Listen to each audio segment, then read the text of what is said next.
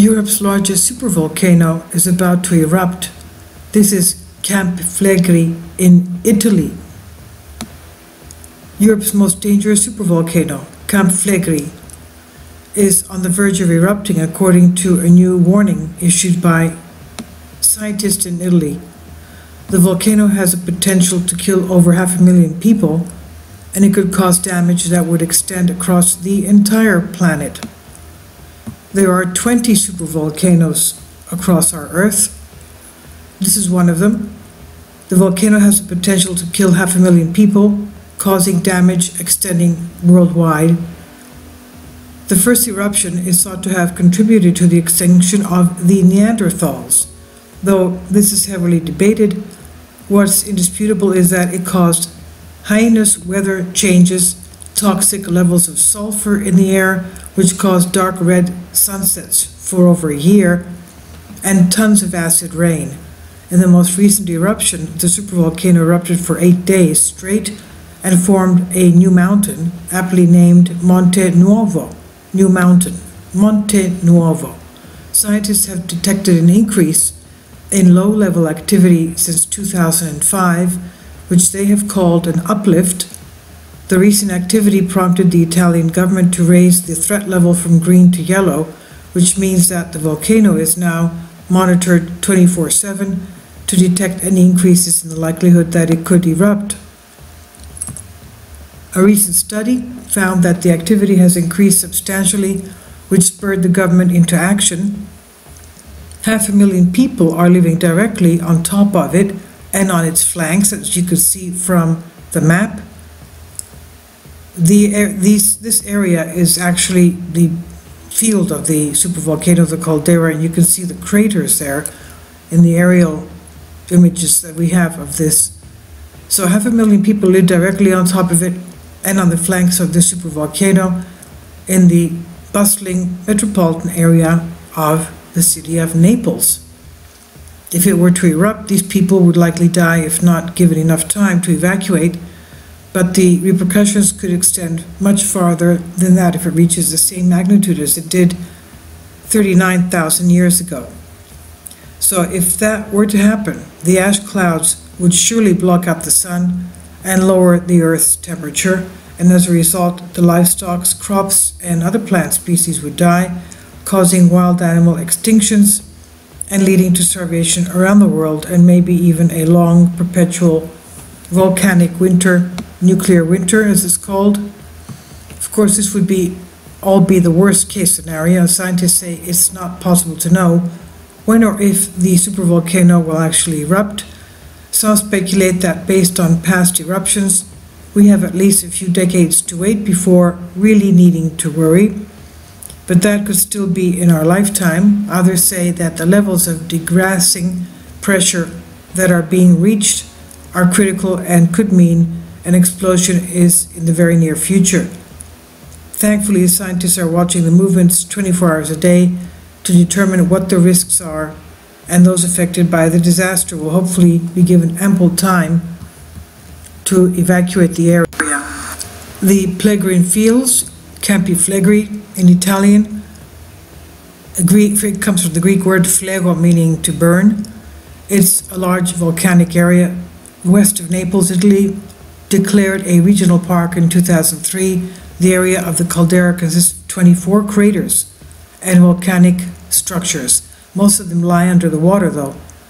Hydrothermal activity can be observed at the Lucrino Agnano and the town of Pozzuoli. There are also effusive gaseous manifestations, that is, sulfur gas being emitted at the Solfatara crater, the mythological home of the Roman god of fire, Vulcan. This area is monitored by the Vesuvius Observatory. The area also features bradyseismic phenomena, which are the most evident in the Macellum of Pozzuoli, misidentified as the Temple of Serapis, Bands of boreholes left by marine mollusks on marble columns show that the level of the site in relation to the sea level has varied. The geophysical phases are periods. The first Phlegraean period is thought to have erupted At the Archiflegreo volcano, about 39,300 years ago, uh, erupting about 200 cubic millimeters, that's 48 cubic miles of magma, to produce the Campanian ignimbrite eruption. The volcanic explosivity index was a 7, so that's pretty big. The dating of the Campanian ignimbrite eruption, about 37,000 years ago, draws attention to the coincidence of the volcanic catastrophe and the suit of Coeval, the biocultural changes that are occurring within the outside of the Mediterranean region, including upper and middle Paleolithic cultural transition, and the replacement of the Neanderthal populations by atomically anatomically modern Homo sapiens. So it's believed that yes, the Neanderthal Neanderthal would have been wiped out by this, and that's how uh, another humanoid species came into being or was found. Anyway, the Homo sapiens. No less than 150 cubic millimeters of magma were extruded at this eruption, traces of which could be detected all the way to Greenland in the Greenland ice cores, as widespread discontinuities in archaeological sequences are observed after this eruption, significant interference with ongoing human processes in Mediterranean Europe. That's the hypothesis of this. It's possible that these eruptions drove Neanderthals to extinction and cleared the way for modern humans to thrive in Europe and in Asia.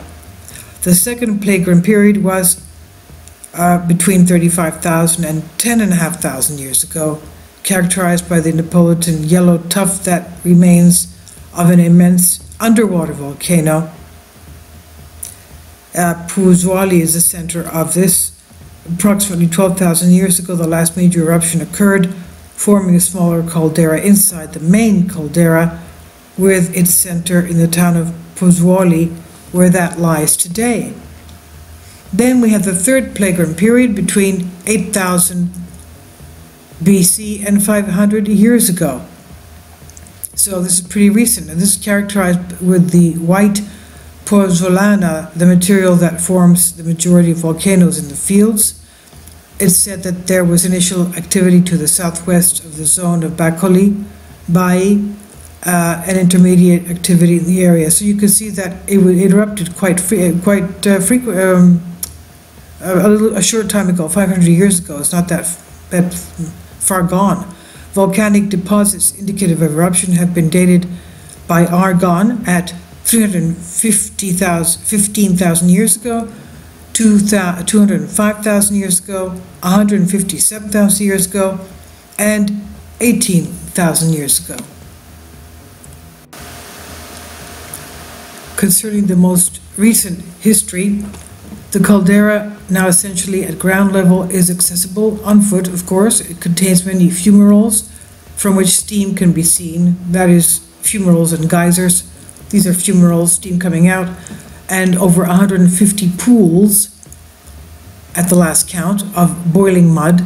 Several subsidiary cones and tuff craters lie within the caldera, and one of these craters is filled by Lake Avernus. In 1538, an eight-day eruption in the area deposited enough material to create a new hill, Monte Nuovo. It has risen about seven feet from the ground since 1970. It is a volcano capable of producing VEI 7 eruptions, larger than that of Tambora of 1815. So that's pretty bad for the whole of Europe, let alone the Northern Hemisphere, if not the world. At present, the Phlegraean Fields area comprises the Naples district of Agnano and Fuorigrotta and the area of Pozzuoli, Bacoli, Monte di Procida, Quarto, the Phlegraean Islands. In 2009, journal article stated that inflation of the caldera center in near Pozzuoli might present presage an eruptive event within decades. In 2012, the International Continental Scientific Drilling Program planned to drill 2.2 miles below the Earth's surface near Pompeii in order to monitor the massive molten rock chamber, the magma chamber below, and provide early warning of an eruption. Local scientists are worried that such drilling could itself ini- initiate the eruption or an earthquake. In 2010, the Naples City Council halted the drilling project. Program scientists said the drilling was no different from industrial drilling in the area, and newly elected mayor allowed the project to go forward. Study from the Institution of Geology and Volcanology shows that the volcano unrest of the Campi Flegrei caldera from 2012 to 13 was characterized by rapid ground uplift, about four inches, in a peak rate of about one inch per month during the month of December 2012. So uh, we have now uh, earthquakes and uplifts going on. August 2017, magnitude 4 quake.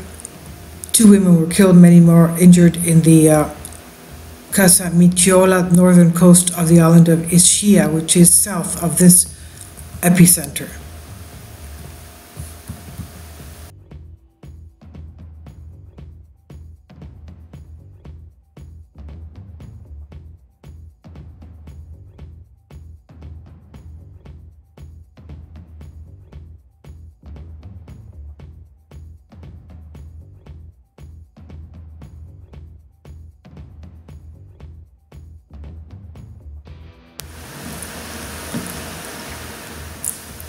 If you'd like to join me on my Patreon account, you will hear content not covered by mainstream media.